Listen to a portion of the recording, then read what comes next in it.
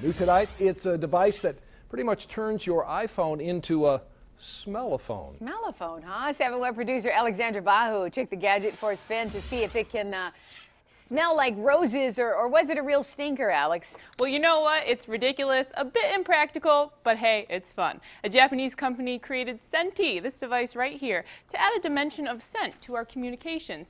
So I spent a couple of days sniffing out the pros and cons of this new product. First things first, what exactly is it?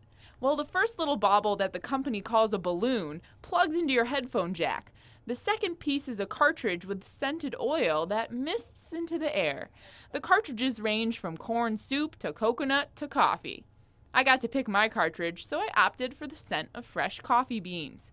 The Scentee works with an iPhone app that lets you decide when the scent will be released. You can set it to intervals, specific notifications, or just spray it at will. It also lights up. Ooh, pretty.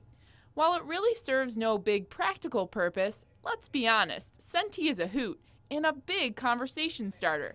Just a precautionary measure, don't stick your nose too close to it. Dave found that out the hard way. Oh, oh, I got too close. Oh. And whenever the real scent is nearby, there could be cause for confusion. Coffee. So here are the cons. Number one, getting the connection right on your phone can be a little tricky sometimes. Number two, the Facebook notification option for Scentee didn't really work for me. And number three, nothing replaces the actual smell of fresh brewed coffee. Now for the pros, number one, it's so ridiculous. Number two, it's a good conversation starter. And number three, it's pretty neat to have a fragrance appear to spritz out of your phone. Overall, I give the experience three out of five noses. Now, the only way to get your hands on Scentee at the moment is ordering through Amazon Japan.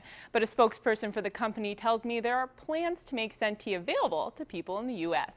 They cost around 36 bucks and cartridges run around $5. To read my full review, check it out on our homepage, WXYZ.com. For 7 Action News, I'm Alexandra Bahu. Okay, Alexander Rexy sort of turned up his nose at it. Uh, Yeah. what- What'd you think about the smell? L- Love you, Alex, but uh, No, not for you? Not for me. Well, we Just saw your reaction. Well, I, I it spurred, it did its thing when I was leaning in, and that's not a good thing. Oh, so it kind of went. it was a little, yeah, a little, little powerful. intense? Yeah, it did smell like coffee, though. Didn't you think, Alex? Oh yeah. Yeah, it smelled like coffee. Okay, there you go. Chemical coffee.